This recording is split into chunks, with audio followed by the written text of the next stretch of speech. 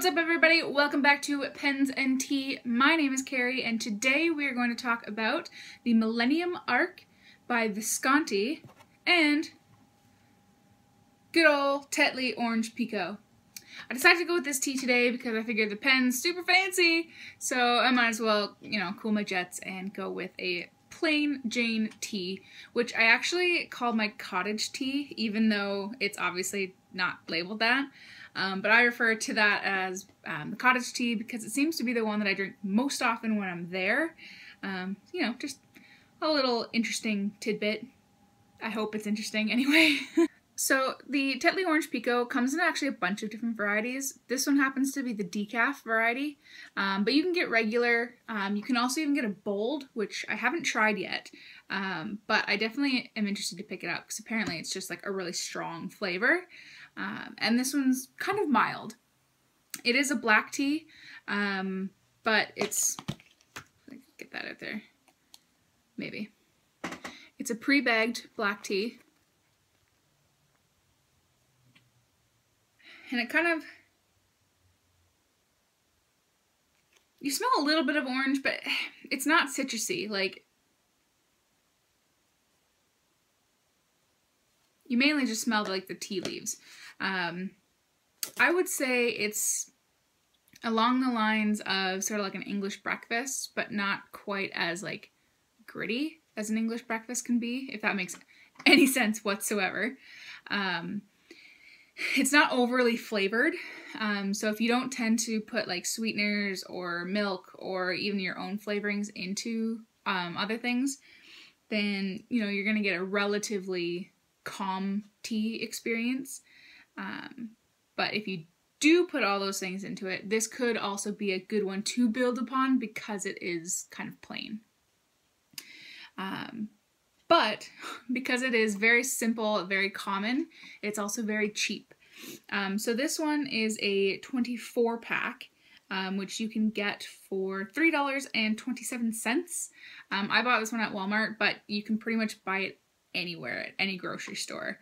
Um, you can get them in 80 packs um, for $7.73. Um, you can even get them in like 300 packs, but I don't know the pricing. Um, I just saw them online once. Um, but 300 tea bags seemed really excessive to me. But that's probably also because I have enough tea to last me until the dawn of time. Like it's it's crazy. Um, but yeah, I like the fact, you know, that it is a kind of basic tea. Um, because then if I'm not in the mood for anything like over the top, I just want something simple, then this is what I go to.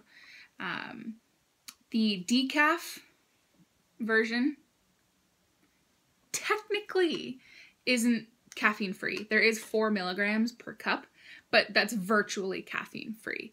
Um, the regular, like just non-decaf version of this um, is, I, I, think it's 34 milligrams um, of caffeine per cup. Um, but even that really isn't anything because the average cup of coffee is 90 milligrams or above, especially if you're going to like a Starbucks. Boy, can you ever get a lot of caffeine from those guys. Um, but yeah, so that's the tea for today, which I'm drinking out of hot, hot, uh, a mug that I got when I was in Mesa Verde. You're going to notice a theme to these mugs if you haven't already, if you've checked out any of the other videos that I have. Um, the vast majority of the mugs that I use um, or have bought are all to do with travel. Um, I'm not a huge like collector of things when I travel, but a mug just seems to be something that I pick up. Um, and I really like to find, again, this is going to get hot, hot, hot. This one I really like just because it almost kind of was like a cauldron type.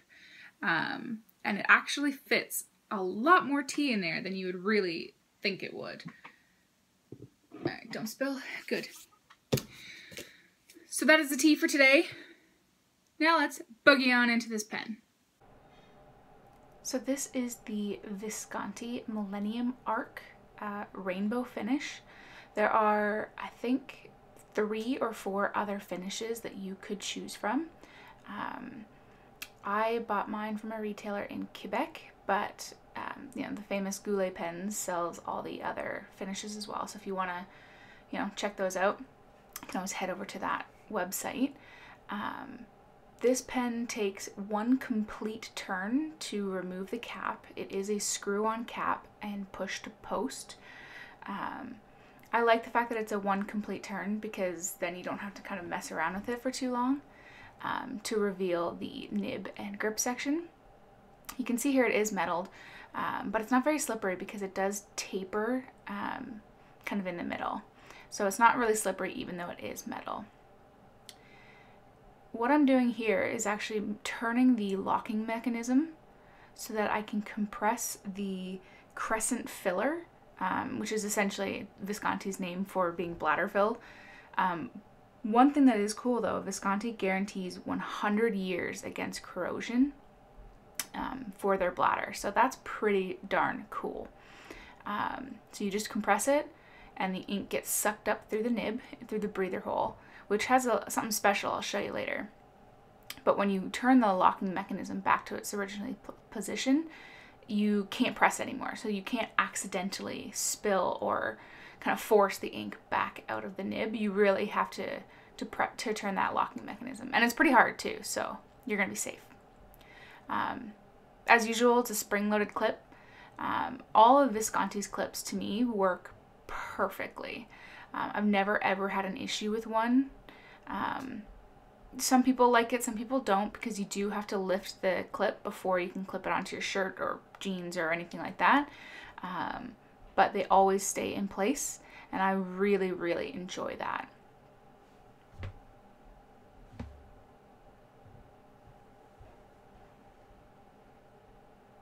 as I attempt to focus, this is the detail around the end of the cap, uh, kind of the center band, where it says rainbow, um, since that is the finish that I have.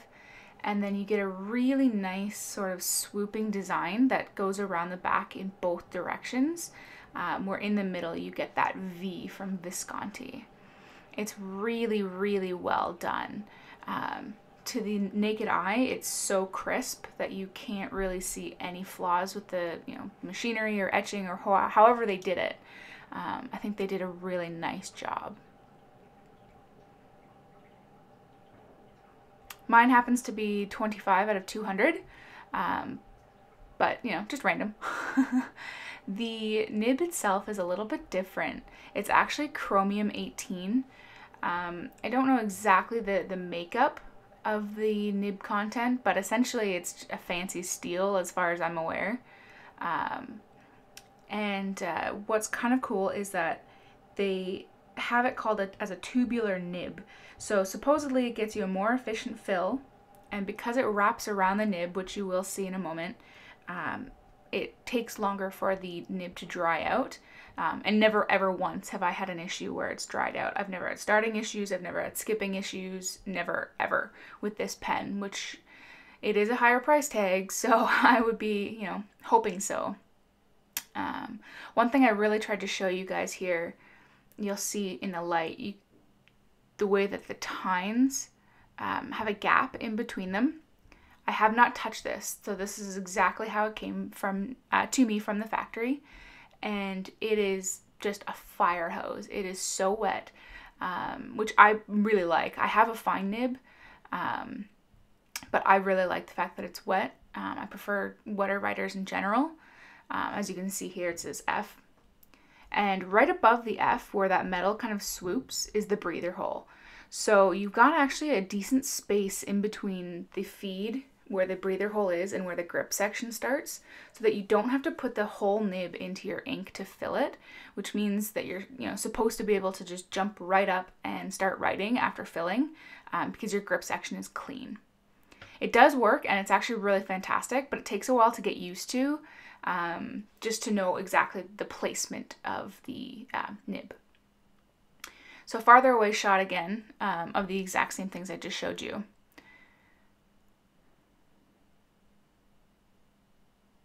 And like I said, the grip section, a lot of people don't like the fact that it's metal. I really enjoy it, um, but I don't have overly oily hands.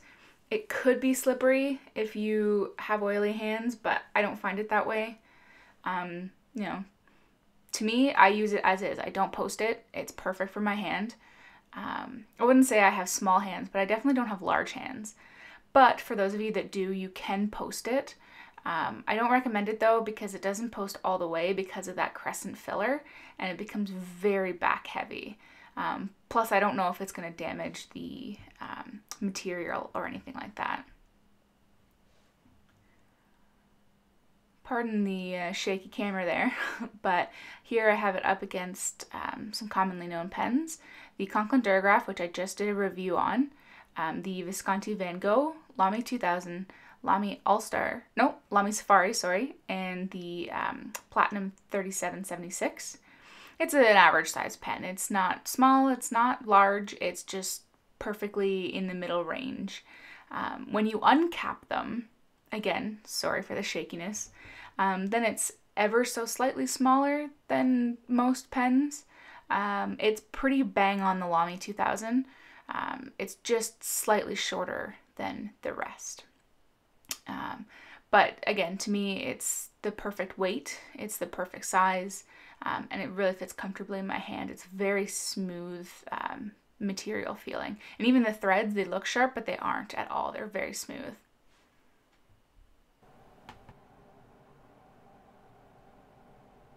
Ah, the good old Quick Brown Fox. Gotta love it. This pen is very, very smooth when you use it. Um, I never have any real issues with it. Um, the only time I ever have an issue is when something smears my ink before it dries, which I guess really is the same with all pens. um, but like I said, this pen's quite wet, so you do um, have that issue a little bit longer. Um, but I enjoy having like really wet pens like this every once in a while because then I can use an ink that's quite dry um, and you don't notice it. Um, so you have your pens for, for everything. um, the only thing I wouldn't really recommend with this nib is reverse writing. You can get like an extra, extra fine, um, but it's not a pleasant writing experience. Um, it is kind of scratchy and it's just, it's not meant to be written that way. Like it, it fights you when you write it. It really grabs the paper. Um, earlier I mentioned that this is a chromium 18 nib uh, which essentially just means it's a high grade fancy steel. Um, so you're not really going to see any line variation. Um, you can definitely spread the tines a little bit and allow more ink to flow um, to get like a super wet line, but I don't really see why you would want to um, because it's already such a wet pen. Um, but you can if you want to. But like I said, you will not get any line variation. It's quite a stiff nib. Um, but to me it it flows so well and it's so smooth anyways that it's not a pen that I go to if I want line variation. Um, and overall, I really, really like it. Like I said, there's never been any hard starts, no skips, no nothing. There's just, it's been a solid writer. Um, I don't know if I would consider it an everyday carry just because it's a little on the fancy side, um, and you do have to commit to the ink that you use because you cannot disassemble this pen. It takes a long time to clean. So guys, typically I like to keep my videos, um, you know, 10 minutes or below. This one was a little bit longer because this was a pen that I know not a lot of people are going to be familiar with. So I wanted to kind of talk about a few more things than I would in like, um, you know, like the Conklin Duragraph that, that uh, was my previous video you know, a lot of people are a little bit more familiar with that, um, or the Pilot Metropolitan, which was two videos ago. Um, so if you made it to the end, thank you so much. Um, I really appreciate every time you watch, every time you comment. Um, you know, if you really like it, hit the subscribe button and that thumbs up button. It means a lot. Um, and like I said, just throw loads of comments in, in the uh, comment section. I do answer them all. Um, if you got any feedback, any suggestions, anything that you want me to do, um, feel free to let me know. And uh, I will see you very shortly. Cheers.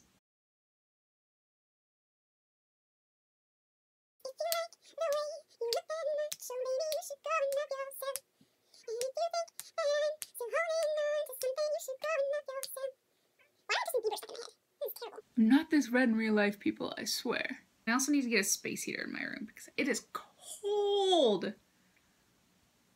Well, it's 20 degrees. It's really not that cold, but 20 degrees Celsius. Americans, Celsius.